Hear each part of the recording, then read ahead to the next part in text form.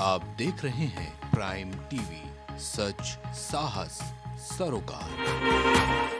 मैं उतुशला यादव, आप देख रहे हैं प्राइम टीवी भारतीय सेना में नई भर्ती के लिए नई व्यवस्था लागू कर दी गई है। रक्षा मंत्री राजनाथ सिंह ने तीनों सेना के प्रमुखों की मौजूदगी में अग्निपथ योजना का ऐलान किया है। इस योजना के तहत युवाओं को देश का सेवा करने का मौका मिलेगा। देखिए हमारे इस खास रिपोर्ट में। ने सेना में भर्ती का नया सिस्टम लागू किया है। इसके तहत चार साल के लिए सेना में लिया जाएगा। उसके बाद उनमें से 25 फ़ीसदी सैनिकों का फिर से रिव्यू करके आगे सेना में बनाए रखने पर विचार होगा।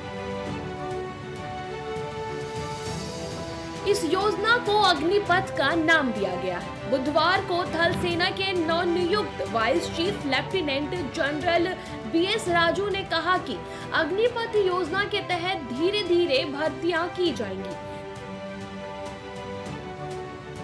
पहले साल में चालीस हज़ार सैनिकों की भर्तियाँ होंगी।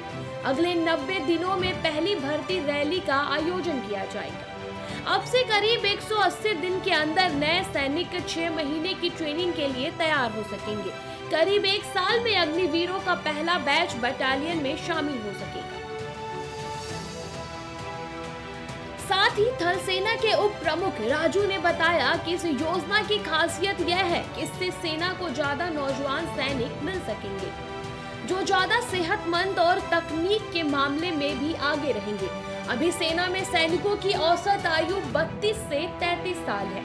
अग्निपथ योजना के तहत 8 से 10 साल के अंदर इसे घटाकर 26 साल के करीब किया जा सकेगा।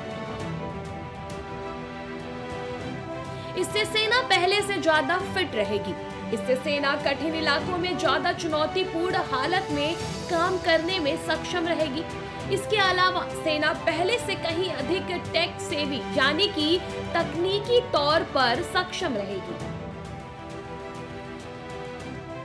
युवाओं में देश प्रेम और एकता को बढ़ावा देने के लिए भारत सरकार द्वारा उठाए गए इस कदम से युवाओं को जवानी की शहादत और देश के लिए उनकी लगन को समझने का मौका मिलेगा। डेस्क रिपोर्ट प्राइम टीवी हमारे इस खास रिपोर्ट में इतना ही। देश दुनिया की और ताज़ा तरीन खबरों के लिए देखते रहिए प्राइम टीवी कुछ भाव पुष्प। आप देख रहे हैं प्राइम टीवी सच साहस सरोकार।